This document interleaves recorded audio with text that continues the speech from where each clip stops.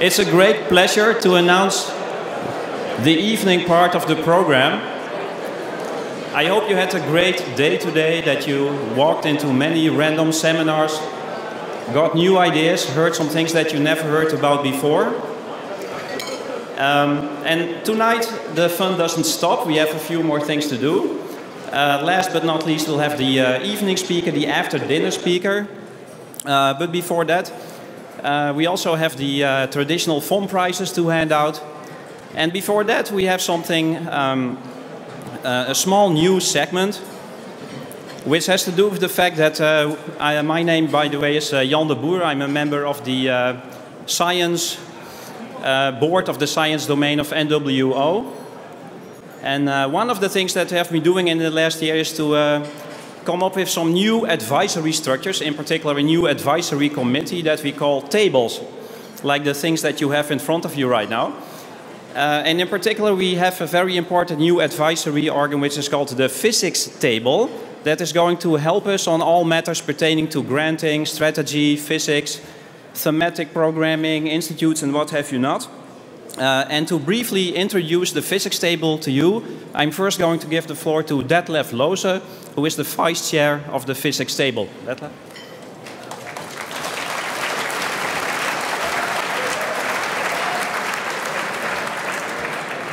Well, thanks a lot, Jan. So, in fact, I fall in for Gijsje Koenderink, who is the chair of the table. And you see the uh, complete table over here as pictures and sitting over there. Uh, in life. Uh, it's a broad representation uh, of the Dutch physics, broad contents-wise, covering high-energy physics, um, biophysics, condensed matter, fluid dynamics, also broad location-wise, so from um, Leiden, Eindhoven, Groningen, uh, Twente, Utrecht, so every, everyone is represented. And the people on the table are also broad, looking beyond physics to neighboring disciplines, chemistry, biology, and so on. So uh, the task of the table, can I have it uh, the next slide, please? So the task of the table is uh, to uh, connect the field uh, to the board of NWO. So the board of NWO is not monodisciplinary anymore, but very, very broad. And clearly there is some need for additional advice structure. Um, we do have the work commissions, and those will uh, stay and perhaps modified a little bit, but those will stay on for advice. Uh, but well, we need this extra structure uh, to facilitate communication, uh, to uh, advise the to prioritize subject, to discover where there is some interesting development, uh, to identify themes, and simply to interact with the field. So, well, you have seen the names, and we are open uh, to, to feedback and advice from the whole field and try to be helpful uh, to uh, continue with the tradition uh, which uh, had developed uh, in the many, many years of FOM. Well, thank you.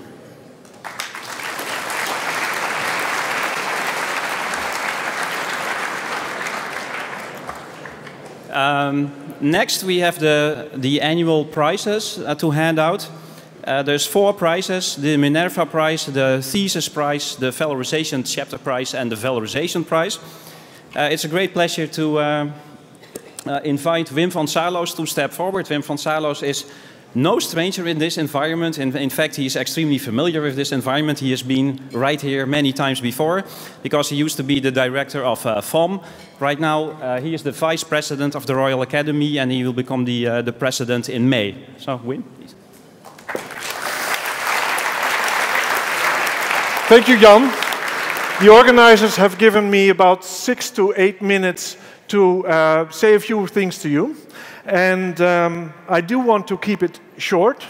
Um, and I would like to start here. A lot of you will probably have seen this spoof, which was uh, actually made here in the Netherlands uh, uh, last spring and was copied. There has been basically every well-respecting country has made it uh, its own version of it.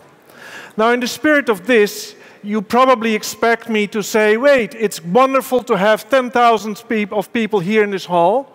But no, uh, I think there are about 1,850 people within about 2%.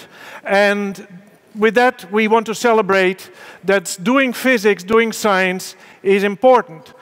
We also foster here international collaboration. There's probably about 60 plus or minus 20 nationalities in this room, people of all races, colors, religions, um, whatever. And they're working together to advance science, uh, working for society, advancing knowledge. Now, if you're like some of us, you probably notice, inspired by this, or you wonder whether society has discovered a new phase, a maximum entropy phase, that maybe all societies uh, induced, and, and, basically Trump and Brexit are sort of our leaders here, whether we could actually converge to a new phase. And of course, we're then asking, actually what's happening to us, are there other stable phases that we should actually study? And that is actually what I would like to, to um, discuss with you today. Um, actually, for physicists, this is quite natural.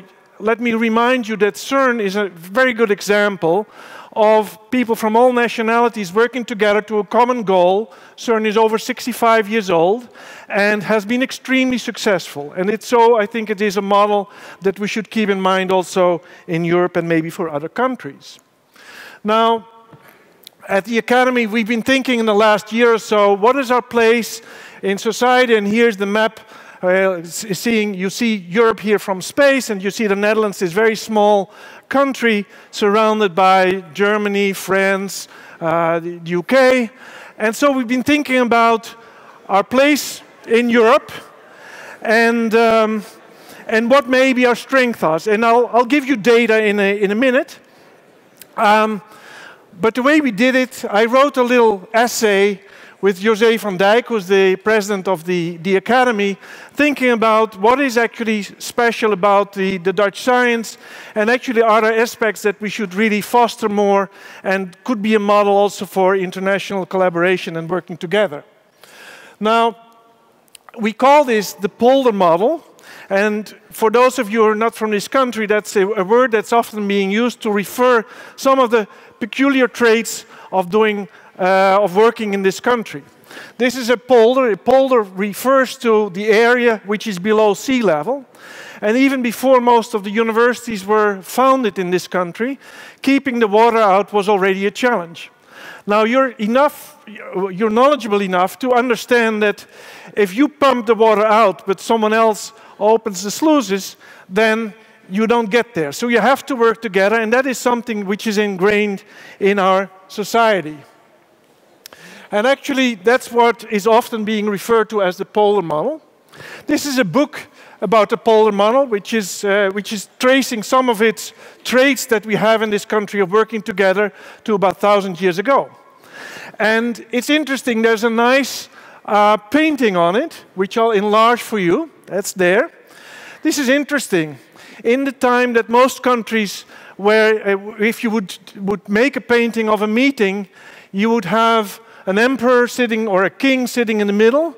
But here in 1651, there were the people um, getting together to discuss the future of the seven provinces in this country. And for many of you who have joined a meeting of the National Science Agenda, it probably reminds you of this a little bit. It's, all, it's a little bit chaotic, very much like you have seen here in this hall when we were getting our foods, but it actually has its own way of working. And let me now, you're asking me probably about data. Well, here's data. When we wrote this essay, we actually said at some point, let's think about this. And what you see is the ranking of the universities in uh, the Netherlands and four surrounding countries uh, on the scale, or, or basically their ranking in the Times Higher Education. And the Netherlands is, oops, which I should go back. The Netherlands is there on the left. You see a very small band. As a physicist, you basically see that's probably a Gaussian distribution, whereas most other countries, you see, have more like a distribution with fat tails. So it's remarkable here that in this country we have many, the, the, universities we have are in first approximation much closer together in their ranking than in most other countries. You actually see the UK here on the extreme. Clearly everyone knows Oxford and Cambridge, but there's a whole range of universities that also rank lower. Something which is special about doing science in this country is this narrow band. And it makes collaborating a lot easier. It fosters collaboration. You can go with your students and meet your colleagues in other, uh, at other universities. And there is no reason to really have that strong a competition. Of course, we do have competition for grants, but we call this the friendly competition associated with that. Also, we foster diversity. And let's keep these traits and maybe use it in science in the future. And that actually brings me to the prizes that I'm, have been asked to, um, to hand out tonight to the four or to the five prize winners. Because again, you see a reflection of inclusiveness, of diversity, and also of combining the strength of the young people with the old. Just like we have this funny session here, uh, we, don't, we have a table here with some of the important people completely mixed with all the others. It's part of this egalitarian type of approach that in some sense I think we should foster in our country. Now let me ask the first prize winner, Julia Cramer, to come to the, to the stage so that I can hand the, um, the prize. And there you are. Van harte gefeliciteerd. Julia is being honored. She is getting the Minerva Prize, which is the prize for the best uh, publication by a female scientist in the last two years. And the prize is being awarded for uh, her article, Repeated Quantum Error Correction on a Continuously Encoded Qubit by Real-Time Feedback. Julia, once more, congratulations. Thank it's you. difficult to... Moeten we nog een keer staan? Ja. You'll have a few. Yeah, thank you. Uh, so first of all, I really want to thank the team that worked very hard on this publication because I was not alone.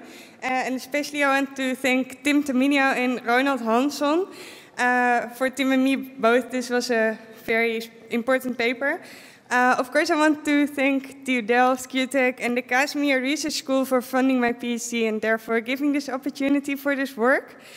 Um, but besides the physics, I think the science communication uh, that we did for this work was also very important in this prize. Uh, and for that, I was inspired by people such as Michel van Baal, Hira Dijk, and my current professor, Ionica Smeets. Um, now, furthermore, I want to thank all my supporters, um, my colleagues, friends, and family. Uh, and finally, I hope to be a role model for others, such as I also have my close by role models, so, such as, for example, uh, Mirjam Blaauboer, Susanne van Dam, and uh, Barbara Witek. Thank you. Thank you very much, Julia.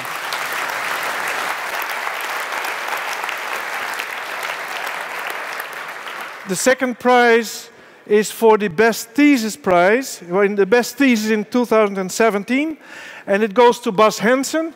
Probably most of you have seen Bas before because he has been quite a bit, a bit in the news for his work on loophole-free Bell test. And the, the title of his thesis is Quantum Non-Locality with Spins in Diamond. Bas. And I understand that Bas has come from down under. Van harte gefeliciteerd. Alsjeblieft. Nou.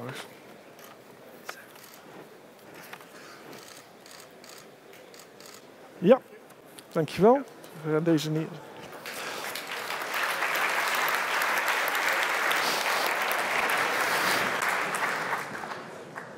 Thank you. So it's a, a great honor to uh, receive this uh, thesis prize, and NWO Physics Thesis Prize this year. It's also great to be up here. I've spent uh, quite a few years uh, down there, so that's, that's very nice. And I would like to take this opportunity to really thank my friends and colleagues uh, at Team Diamond, uh, at the Quantum Transport Group, which is now QuTech, yeah, for really this team effort. It was a really big experiment, and it was really a team effort to get uh, the experiments described in my thesis going. So uh, a, a, big thank you for those.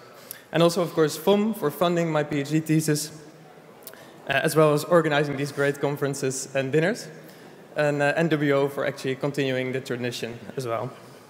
And so finally, I would like to thank um, my uh, uh, join my previous prize winner, in fact, in, join, in, in, in thanking Ronald Hanson, Professor Ronald Hanson, for being such an excellent PhD supervisor, uh, as well as a good team leader and physicist. Thank you. Thank you very much, Bas.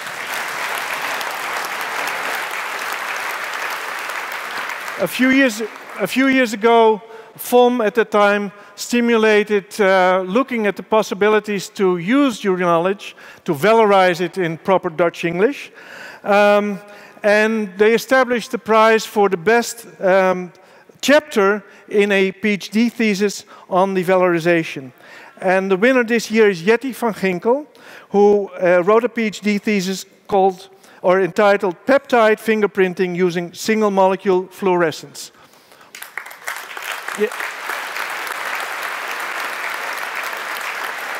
Ja. Jetty, van harte gefeliciteerd. Ja. Dat beeldje, ja. Het wordt even zwaar, ja. Ja. Gaat het? We hebben meer handen nodig. Ja, oké. Okay. Dan nemen we hem hier. Ja. Ja. I'm uh, very excited to, uh, to receive this prize today, despite the fact that we didn't manage to commercialize our uh, invention yet. Um, I'm, uh, well, I'm actually very happy with the prize because it, for me, it uh, justifies my career move into a technology transfer, which I so far enjoy very much. I uh, like to thank everybody who supported me along the way to, uh, to get this work done. Uh, and NWO for recognizing uh, valorization as a very important uh, task of, uh, of universities. Thank, thank you, you, very much, Jetty.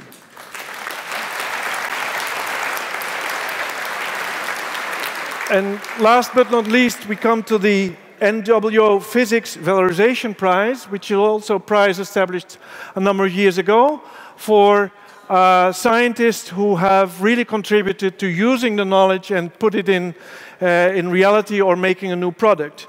And quite interestingly, um, this year the prize goes to Erwin Peterman and Gijs Wuite, two colleagues at the, at the Vrije Universiteit in Amsterdam, because they have really made advances in combining single molecule spectroscopy with optical tweezers to make a new way of making detection which actually could have um, uh, use in, in the biomedical research. So could I have here Gijs Wuite and, um, and Erwin Peterman? You're here. Gijs van Hart. Erwin, ja. Ja, dan moeten jullie hem samen. Ja. Ja. Ja.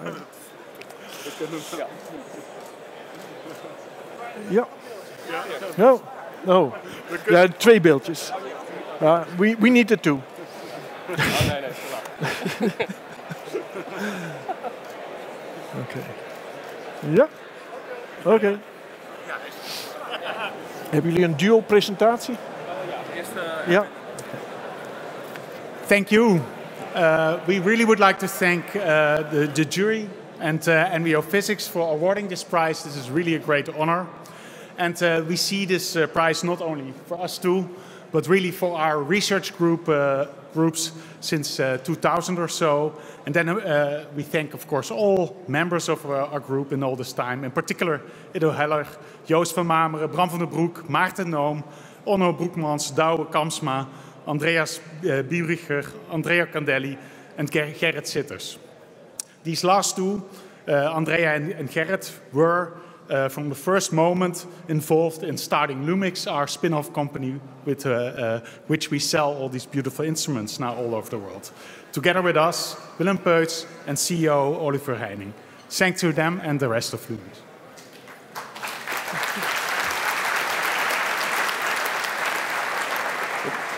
I wanted to actually add a few more words because this valorization effort would also not have worked without the expert support of our technology centers at the VU the tech transfers office at the, at the VU, in particular Nigel Wagstaff, Steven Tan, and Bart Kleijsen, Moreover, we're quite indebted about uh, the positive attitude at the, the VU University for valorization efforts and also at the BATA faculty and the physics department. And also quite uh, particular, we're inspired by Davide Iannuzzi in our department. And last and not least, our financiers from STW, um, NWO, ERC, FedOpen, and NanoNext have been uh, of great financial support for our valorization efforts. Thank you very much.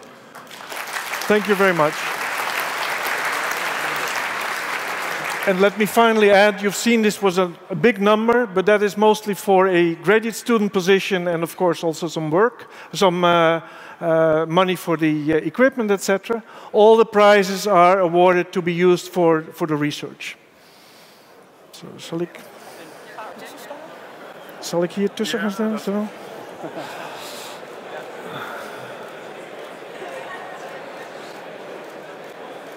Ja.